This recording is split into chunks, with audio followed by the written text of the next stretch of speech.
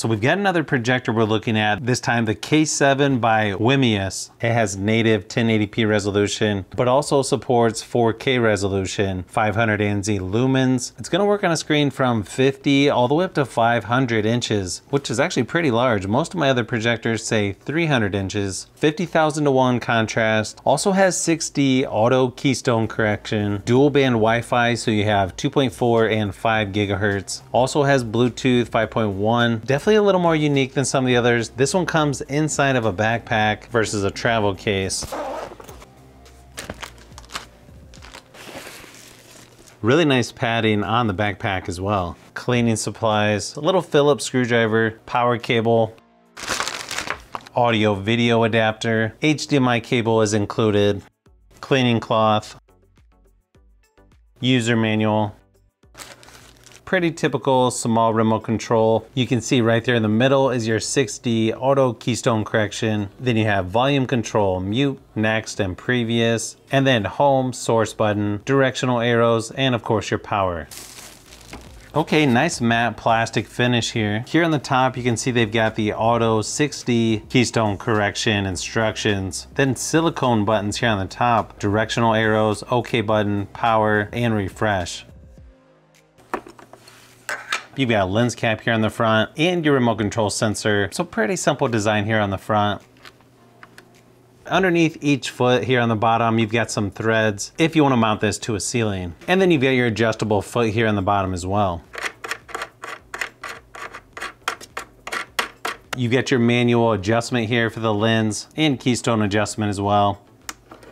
It looks like you've got a replaceable filter here on the side, ventilation on the opposite side, all your ports are here on the back. You've got two USB ports, headphone jack, audio video jack. You've got your remote control sensor and two HDMI ports as well. And then towards the bottom is where you plug in the power. Once you get the projector hooked up, you can see it's got a pretty simple home screen with shortcuts to screen mirroring, HDMI 1 and 2, audio video, settings, movie, music, photo, and text. You can also adjust the keystone correction manually there on the side to get it close, and then go into picture settings to adjust four point correction or horizontal and vertical adjustments as well. I tried out the 6D keystone correction, and I'm not sure if I'm sold on that. It does seem to work okay, okay. It just feels like it's easier to go into the settings and do it manually, but of course that's going to be personal preference. You can even rotate the screen to about 30 degrees, although I can't imagine that I would use that, maybe some people would. Then you've also got infinity zoom and correction reset. You also have different sound modes on here, balance and surround sound. Then you have clock, sleep timer, Bluetooth settings, factory reset, and software update through USB. The built-in speaker does sound pretty good on here. Seems like it's plenty loud enough for a medium-sized room. Here's a quick sample just to give you an idea of what it sounds like. You will probably hear some fan noise in the background, but not bad in person. Doesn't seem like it's too loud once you start playing games or watching stuff on here.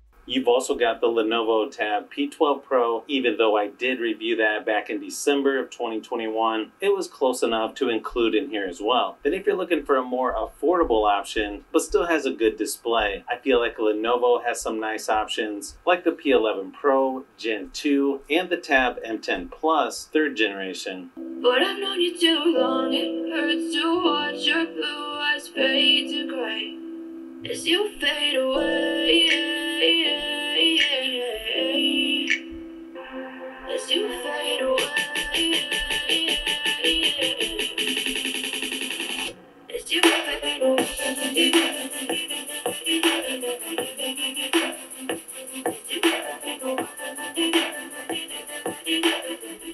It also gives you instructions on how to use iOS Cast, Miracast, iOS Cablecast, and DLNA. I tried to show you here what it looks like with all the lights turned on, and actually it looks pretty good in person. Plenty bright enough if you had to use it that way, but it will look much better once all the lights are turned off. One thing I did notice is with some projectors, you get the image in focus towards the middle, but then towards the edges or corners, it can be a little out of focus, especially with projectors that are only manual focus. And this one tends to have a little bit of that. Not bad though compared to others I've tested. That's also going to depend on what angle you have the projector at and there's other variables. But overall I think the image quality is pretty good, especially considering the price. You can also use this projector for presentations since text looks nice and sharp on here and you can even play mobile games right from your tablet, iPad, phone on here as well. They're saying you can use this one outdoors and yeah, looks like this one would be bright enough to use this outdoors at nighttime. And then when playing Rocket League, the picture quality is nice and bright, nice contrast, and fairly smooth as far as how it looks. But I did notice some lag or slow reaction while playing. I normally play on PC, so going back to my Xbox using this projector could make it feel that way. But it's probably going to depend on what types of games you're playing and how good your internet connection is. So this projector from Wimius